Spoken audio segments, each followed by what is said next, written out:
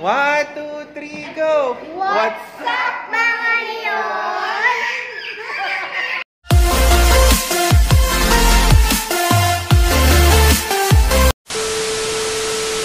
What's up mga Leon? It's me Aganowi and welcome back to our channel. For today's video, bali meron tayong pinuntahan mga Leoners. So, nagpunta tayo doon sa shoppingan kung saan napakamura. So, ang pinuntahan po natin ay sa Novo. Yan, sa Novo. Bali sa Caloocan siya, malapit siya sa Victory Mall and sa Araneta Mall.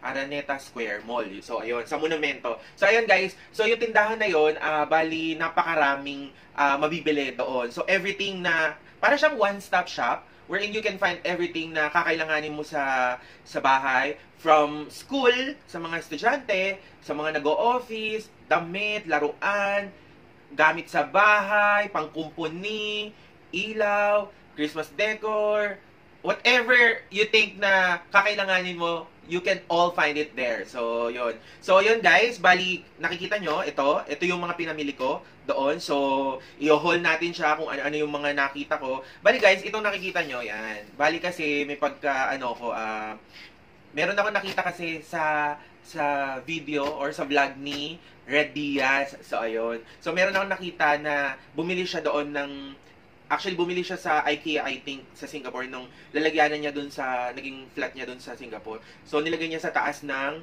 cabinet. So, naisip ko, yung cabinet kasi namin yon yan. So, empty siya. May nakapatong, pero empty siya. So, para magamit yon so, bumili ako nito. So, yon guys. So, guys, I'll show you kung ano yung mga nabili ko. So, yon Tapos, ilalagay ko na rin yung mga presyo dito para may idea kayo kung gusto nyong bumili doon.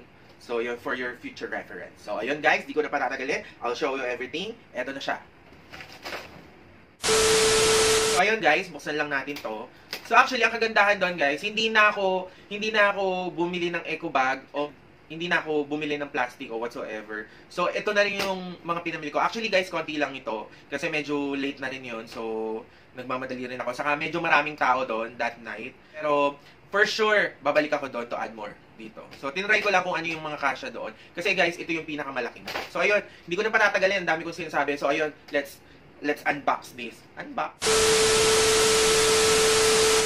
So, ayan guys. So, ayan, isa-isa natin kunin. So, yung nakita natin dito guys, yan. So, yan. Meron kasi ako nakita doon unique na unique na ano na paper plate. So, yan. So, guys, kasi mag, malapit na ang aking birthday. So, bumili lang ako ng pandagdag. So, may nakita akong gold. So, ayan. Bumili ako ng tatlong pack. So, kada isang pack, meron siyang 10 pieces. So, ibig sabihin 30 na to. So, yun. Pang-accent lang to, gold. So, kasi uh, nakyutan lang ako. So, ayun guys, ito. Ito ay nagkakahalaga ng 35 pesos each pack. So, ibig sabihin ito, 105 siya. So, ayun guys, ito yun. Maganda siya, pang Christmas din, pang accent nyo. So, yun. Uh, para siyang ano, extraordinary na paper plate. So, ibig sabihin, hindi siya yung silver or yung paper type na itsura. So, this time, ano siya, gold ang drama niya. So, ayun guys. So, ayun. And also, meron ako ditong binili. Ito, guys. Bumili ko ng kutsilyo. So, ayun, guys. Nox, vlogger na vlogger. So, ayan, guys. Meron ako ditong biniling kutsilyo. So, ayan. Siyempre, my favorite color is green. So, ito siya. At, nabili ko siya doon ng, magkano ba ito? 40 pesos. So, ayun, guys. 40 pesos lang, no? Ang mura. So, ayan, guys. Ito siya. Ito yung second na nabili ko. And then, meron din akong nabili. Ito. Kasi hindi ko mahanap yung ganito namin dito sa aming unit. So, ayan guys. So, bumili ko nito, tong siya, stainless tong. So, ito ay 35 pesos lang. Gosh, ang mura. So, ayan guys. So, yung tong, pang prito, ganyan. Pang kuha ng prito, ganyan. So, yun. Guys, ito, 35 pesos lang. Ang mura guys, di ba? So, ayun. So, marami pa doon guys na mga iba pang mga klase ng mga uh, pang kitchenwares, ganyan. May mga plato, both uh, por, uh, porcelain or babasagin and yung mga plastic. Tapos marami din doon guys na parang uh, pwede nyong parang kikiluhin mo siya, 100 per kilo, mga ganun. so, ayun. Pili na lang kayo kung ano doon. So, ayun guys, isa sa mga nabili ko, ito. Actually, meron na kami nito. So, dinagdagan ko lang para maraming mapalamig na tubig. Tapos ito guys, alam nyo ba, sobrang mura nito. Ang liters niya ay walang nakalagay, pero more than ano to, 1 liter, I think. And then, ano, um, napakamura nito. Alam nyo ba kung magkano to? 70 pesos lang to. So, ayun. So, ayun mga Leoners. So, ito, 70 pesos. So, yan. Meron ka ng lalagyanan ng water or juice or whatsoever na presentable. Of course, guys, color green. So, ayun. So, ayan, guys. Meron pa ako nabili na isa pa. So, ito siya. So, yan. So, ay- ayan siya, guys. Parang siyang ah, divider na lalagyanan, organizer. Ano ba tawag dito? So, ayun, guys. Para siyang itatayo mo siya. Ayun, no. Yan, itatayo mo siya na ganun, tapos layer siya, you can put. So, ito naman, ang purpose ko buying this is yung mga, ah, ano namin, ah, dilata, ganyan, or yung mga seasoning, mga ganon, ilalagay ko to doon sa taas ng ref. Kasi guys, wala pa kami ditong cabinet for the kitchen. So, medyo magulo pa yung ano, papakita ko sa inyo. So, ayan, medyo magulo pa siya. Ayan, guys, yan. Yan, yan, yan. See? Di ba ang gulo? So, ayun, i-organize natin, ilalagay natin dito yon para ah, mas marami tayong malagay and also um, organize siya. So, ayun guys. Ito ay nagkakahalaga ng napakamura nito guys. 3 layers na siya. 130 pesos. So, ayun guys. So, 130 pesos. So, ito siya. So ayun guys, moving forward at bumili ko ito ngayon napanood ko sa video ni sa vlog ni Red Dia. So yun, pina-follow ko siya ngayon kasi napaka-informative din nung mga ano niya, nung mga bina-vlog niya. At saka nakakatuwa um yung mga hauls ganyan.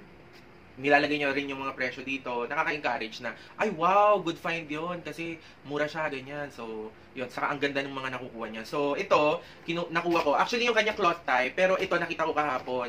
Actually, ang gusto kong bilhin kulay green but wala kasing ang available na size. Pero biggest size niya is nando doon, ito. So, ayun guys. So, ayun. Ito, dalawa lang muna yung binili ko kasi tatry ko muna kung ilan yung kakasya doon. So, kasi may nakalagay din doon sa cabinet na.